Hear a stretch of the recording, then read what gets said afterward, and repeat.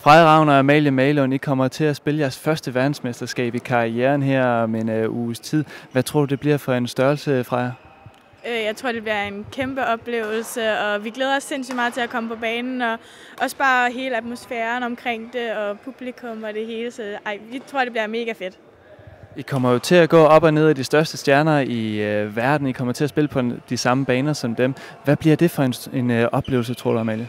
Altså, det er noget helt anderledes, end vi har prøvet før, så det bliver helt klart specielt. Altså, så øh, vi glæder os til at komme derned og sådan, få prøvet det, og så vi kan tage det med videre til de andre turneringer, vi skal spille.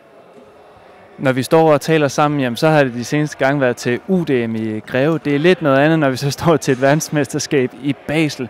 Hvad bliver det for en øh, kontrast, så at sige, at stå dernede kæmpe kontrast. Vi har været vant til at sådan spille med om medaljer og være sådan favoritter og så videre, så nu bliver det sådan noget anderledes at komme til at være underdogs og skulle prøve at præstere på vores højeste niveau for at kunne være med. Ja, det bliver jo, øh, som du siger, en øh, lidt anden størrelse, uden at forklare jeres chancer eller noget, så skal I jo virkelig performe, hvis det er, det skal gå rigtig godt. Men hvad tror jeg alligevel, det kan gavne for jeres øh, udvikling at deltage ved det her verdensmesterskab?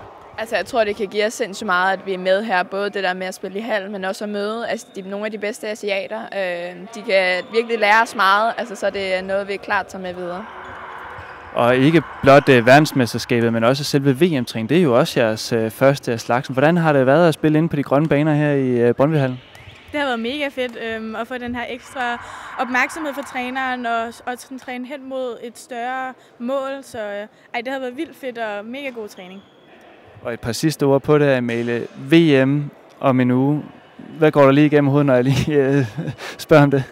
Ej, vi glæder os sindssygt meget. Det bliver så fedt at komme på banen og få spillet og få...